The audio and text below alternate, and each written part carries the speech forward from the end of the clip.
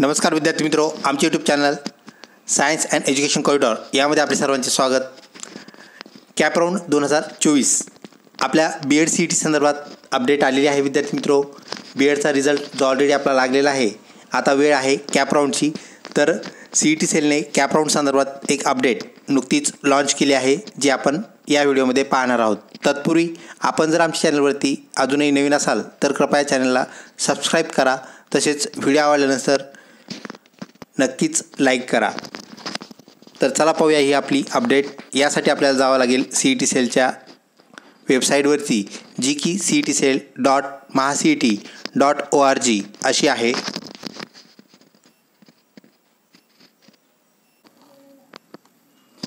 विद्यार्थी मित्रो आपण सी ई टी सेल असं गुगल क्रोममध्ये टाईप करून सर्च केलं असता एका पेजवरती पोहोचतो जिथे आपल्याला सी ई टी सेलचा हा लोगो असलेला साईट मिळते त्याला क्लिक करायचं आहे. याला क्लिक करताच आपण परत एका पेजवरती पोहोचतो जेथे आपल्याला सी टी सेलचा लोगो सी ई टी सेलचं कोटेशन या दोन्ही बाबी पाहायला मिळतात. इथे आल्यानंतर वरती स्क्रॉल करायचं आहे. स्क्रॉल केल्यानंतर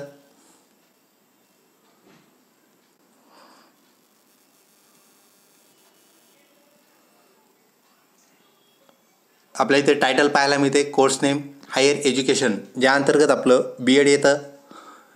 College or institute registration for higher education courses date पंधरा पाच दोन हजार चोवीसला हे नोटिफिकेशन रिलीज झालं आहे. आपल्याला इथे डाउनलोड करण्यासाठी फाईलच्या स्वरूपात इथे जो आयकॉन दिसतो आहे त्याला क्लिक करायचा आहे. याला क्लिक करताच आपल्याला फाईल ओपन झालेली पाहायला मिळते. व्हिडिओ आवडत असल्यास नक्कीच लाईक करा. मित्रपरिवारामध्ये शेअर करण्यास बिलकुल विसरू नका. विद्यार्थी मित्रो प्रवेशासंदर्भातील ही आपली प्रक्रिया नुकतीच सुरू होत आहे. या संदर्भातलं हे नोटिफिकेशन आहे. आपण इथे पाहू शकता चौदा पाच दोन हजार चोवीस रोजी हे नोटिफिकेशन रिलीज झालं आहे व आपल्या सी ई टी सेलवरती ते आपल्याला उपलब्ध पंधरा पाच दोन हजार चोवीसला झालेला आहे. परिपत्रक विषय उच्च शिक्षण संचालनाच्या अखेत्या रीतील व्यावसायिक अभ्यासक्रम जे आहेत ज्यामध्ये आपला बी एडचाही समावेश आहे. प्रवेश प्रक्रिया शैक्षणिक वर्ष दोन हजार चोवीस पंचवीस करता महाविद्यालय नोंदणी करण्याबाबत. वरती स्क्रॉल केल्यानंतर आपण इथे पाहू शकता सद्यस्थितीत शैक्षणिक वर्ष दोन हजार चोवीस पंचवीस करिता व्यावसायिक अभ्यासक्रमाच्या राज्य सामायिक प्रवेश परीक्षेची कार्यवाही अंतिम टप्प्यात आलेली आहे. त्या अनुषंगाने शैक्षणिक वर्ष दोन हजार चोवीस पंचवीसमधील केंद्रीय प्रवेश प्रक्रियेमध्ये सहभागी होऊ इच्छिणाऱ्या विधी पाच वर्षे विविध जे कोर्सेस आहेत विद्यार्थी मित्रो विधी म्हणजेच आपल्याला माहीत आहे law law five years law three years त्यानंतर B Ed M Ed B P Ed M P Ed B S C B Ed B A B Ed ज्याला आपण इंटिग्रेटेड बी एड असं म्हणतो. बी एड एम एड म्हणजेच integrated B Ed तर हे जे अभ्यासक्रम आहेत या अंतर्गत येणारे शासकीय महाविद्यालय अशासकीय अनुदानित महाविद्यालय अशासकीय अनुदानित अल्पसंख्याक महाविद्यालय विद्यापीठ संचलित विनानुदानित कायम विनानुदानित अल्पसंख्याक कायम विनानुदानित महाविद्यालय जे आहेत किंवा विद्यापीठ आहेत या विभाग यांनी सोबतच्या तक्ता क्रमांक एकमध्ये दर्शवण्यात आलेल्या संकेतस्थळावर पंधरा पाच दोन हजार चोवीस ते सत्तावीस पाच दोन हजार चोवीस या कालावधीमध्ये ऑनलाईन पद्धतीने नावनोंदणी करावी. नावनोंदणीबाबतच्या ज्या सूचना आहेत इथे दिलेल्या आहेत विद्यार्थी मित्रो ज्या की महाविद्यालयासहित आपल्यालासुद्धा त्या लागू पडतात. त्यामध्ये त्यांनी काय सांगितलेलं आहे त्या सूचना आपण पाहूया. तर अर्जामध्ये अचूक माहिती भरून सर्व कागदपत्रे अपलोड करणे आवश्यक आहे. अपलोड करण्यात येणारी कागदपत्रे वाचनीय असावीत. म्हणजे ते आपल्याला व्यवस्थितपणे ते वाचता यावे अशा प्रकारचे ते कागदपत्र असावेत ज्याला आपण क्लिअर डॉक्युमेंट्स असं म्हणूया. तर क्लिअर डॉक्युमेंट्स असणं गरजेचं आहे. कुठलंही डॉक्युमेंट ब्लर नको आहे असा पॉईंट एकचा म्हणणं आहे. त्यानंतर अर्जातील सर्व माहिती बिनचूकपणे भरण्यात येईल. याबाबत याबाबत दक्षता घ्यावी. म्हणजे अर्ज भरताना सगळ्या ज्या गोष्टी आहेत व्यवस्थित भरायच्या आहेत. तर विद्यार्थी मित्रो अशा प्रकारचं हे नोटिफिकेशन आपल्याला आलेलं पाहायला मिळतं. हे नोटिफिकेशन आलं म्हणजेच विद्यार्थी मित्रो आपली जी प्रक्रिया आहे बी एड कॅपराऊंडची ती आपल्याला सुरू झालेली पाहायला मिळते. लवकरच आपला बी एड कॅपराऊंड अलॉट होणार आहे.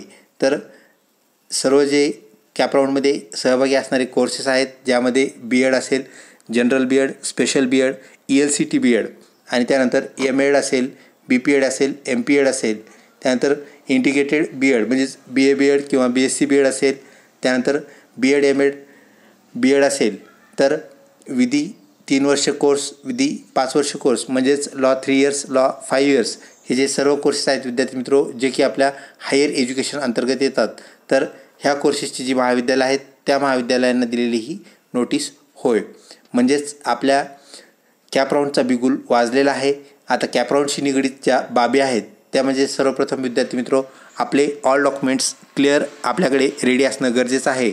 डॉक्युमेंट लीड्स लिस्ट ऑलरेडी आपण मागील व्हिडिओमध्ये पाहिलेली आहे. त्यामध्ये सर्व जे मार्क्स मेव आहेत विद्यार्थी मित्रो ते आपण हस्तगत करणं गरजेचं आहे. त्यानंतर महत्त्वाचा प्रश्न उरतो तो म्हणजे आपल्या टी सी संदर्भात. तर विद्यार्थी मित्रो आपले सर्व जे मार्क्स मेमो आहेत ते म्हणजेच दहावीचा मार्क मेमो असेल S S C mark memo H S C mark memo म्हणजेच बारावीचा मार्क मेमो डिग्रीचे तीन वर्षाचे मार्क्स मेमो म्हणजेच गुणपत्रक त्यानंतर पी जी आपलं झालेलं असेल पूर्ण फर्स्ट इयर सेकंड इयर दोन्ही वर्षाचे पदव्युत्तरचे मार्क्स मेमो त्यानंतर आपण कॅटेगरीमधून फॉर्म भरला असेल तर कॅटेगरीचं आपलं कास्ट सर्टिफिकेट कास्ट सर्टिफिकेटनंतर विद्यार्थी मित्रो ज्या संवर्गासाठी व्हॅलिडिटी नमूद करण्यात आलेली आहे त्या संवर्गाची कास्ट व्हॅलिडिटी सर्टिफिकेट तेही आपल्यासोबत असणं गरजेचं आहे. त्यानंतर नॉन क्रिमिलियर सर्टिफिकेट हेही आपल्याला लागणार आहे. त्यानंतर आधार कार्ड आपल्या प्रत्येकाकडे आहे तेही आपल्यासोबत ठेवावं लागेल. त्यानंतर पासपोर्ट फोटोज दोन passport photo colour passport photo आपल्याकडे असणं गरजेचं आहे. जे की आपल्याला महाविद्यालयात जमा करावे लागतात. ॲडमिशनच्या वेळी. त्यानंतर सर्व डॉक्युमेंट्सच्या झेरॉक्सच्या दोन कॉपीज फोटोकॉपीज आपण ज्याला म्हणतो त्या आपण काढणं गरजेचं आहे. त्यानंतर आपल्या बी एड सी ई टीचं जे ॲप्लिकेशन फॉर्म आहे तो ॲप्लिकेशन फॉर्म आपल्याला भरून घ्यावा लागेल. त्यानंतर ॲडमिट कार्ड जे आहे विद्यार्थी मित्रो ज्याला आपण हॉल तिकीट असं म्हणतो बी एड सी ई टीचं ॲडमिट कार्ड हॉल तिकीट हे आपल्याला त्याची प्रिंट लागेल. त्यानंतर स्कोअर कार्ड आणि कॉलेज अलॉटमेंट प्रिंट आपल्याला ज्या कॉलेजला आपला नंबर लागलेला आहे त्याची प्रिंट आपल्याला तिथं घ्यावी लागेल. जेणेकरून आपला जो ॲड्रेस आहे त्या प्रिंटमध्ये नमूद असतो. अशा प्रकारे आपल्याला सर्व डॉक्युमेंट्स कलेक्ट करून महत्त्वाचं डॉक्युमेंट म्हणजेच टी सी ॲडमिशनच्या वेळेस आपल्याला टी सी लागेल. विद्यार्थी मित्रो ज्यांचे रिझल्ट्स लागलेले आहेत म्हणजेच ज्यांचे रिझल्ट ऑलरेडी लागलेले आहेत पदवीचे असो किंवा पदव्युत्तरचे असो तर त्यांनी टी सी काढायला काहीही हरकत नाही. त्यांना टी सी मिळू शकतो. फक्त अडचण कोणाची आहे ज्यांचे रिझल्ट्स बाकी आहेत किंवा कोणाचे पेपर्स बाकी आहेत त्यांची अडचण आपल्याला आलेली पाहायला मिळेल तर त्यांना टी सी सध्या मिळणार नाही. ॲडमिशनच्या वेळी विद्यार्थी मित्रो तरी त्यांचं जर एक्झाम संदर्भात काही बाबी राहिल्याच तर त्या विद्यार्थ्यांना मग ॲडमिशन मिळणं पहिल्या राऊंडला शक्य न झाल्यास दुसऱ्या किंवा तिसऱ्या राऊंडला ते परत ॲप्लिकेशन करू शकतात रजिस्ट्रेशन करू शकतात.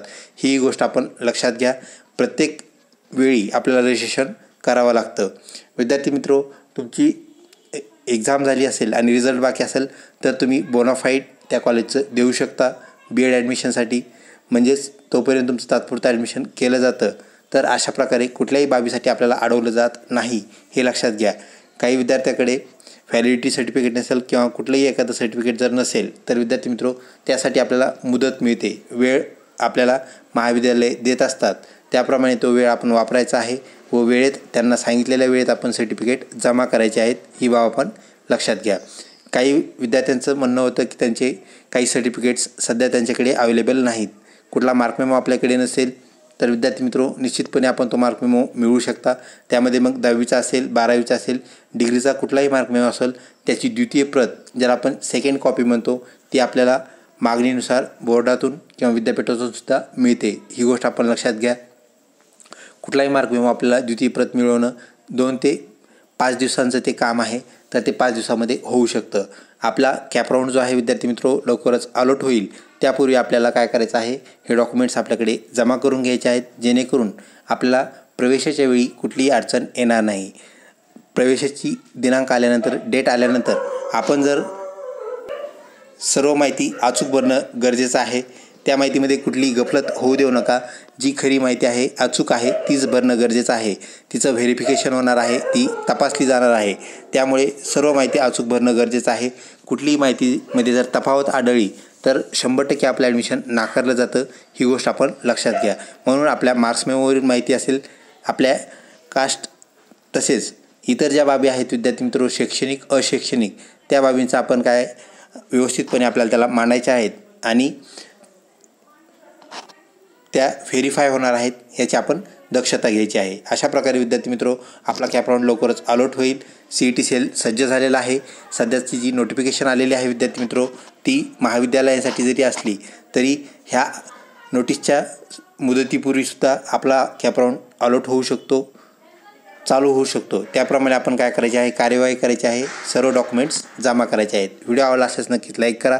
तसेच मित्रपरिवारामध्ये शेअर करण्यास विसरू नका. लवकरच भेटूया अपडेटेड व्हिडिओमध्ये तोपर्यंत धन्यवाद.